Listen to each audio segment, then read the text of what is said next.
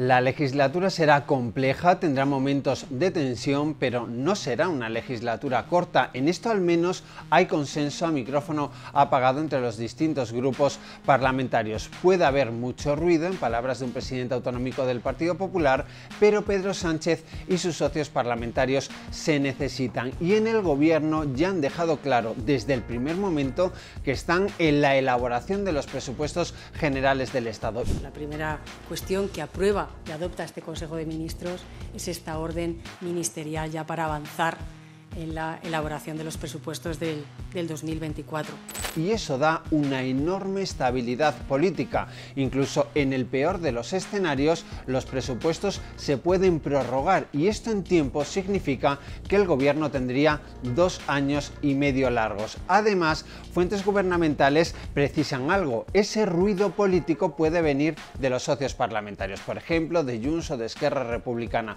pero ese ruido no estará en el seno del gobierno de España. Al menos eso es lo que pretenden Pedro Sánchez y Yolanda Díaz después de la abrupta, de la bronca salida de Yone Belarra y de Irene Montero.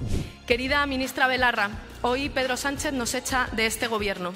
Es precisamente por haber hecho lo que dijimos que haríamos. Te deseo que tengas y te rodees del mejor equipo, que nunca te dejen sola y que tengas valentía para incomodar a los hombres amigos de 40 y 50 años del presidente del gobierno. Dicen fuentes gubernamentales y también del Partido Socialista que en la pasada legislatura lo peor fue la gestión de la ley del solo sí es sí y la bronca interna con Unidas Podemos. Por eso, añaden fuentes al más alto nivel, ahora vamos a vivir mucho más tranquilos. Y ello pese a la aprobación de la ley de amnistía. El Partido Popular y el Partido Socialista se preparan para una legislatura a cara de perro con todos los puentes rotos. No hay interlocución entre Pedro Sánchez y Alberto Núñez Fijo. Y a la pregunta de si es posible renovar el Consejo General del Poder Judicial en Génova, responden que no, salvo que antes se cambie la ley. Esto es que los jueces elijan a los jueces.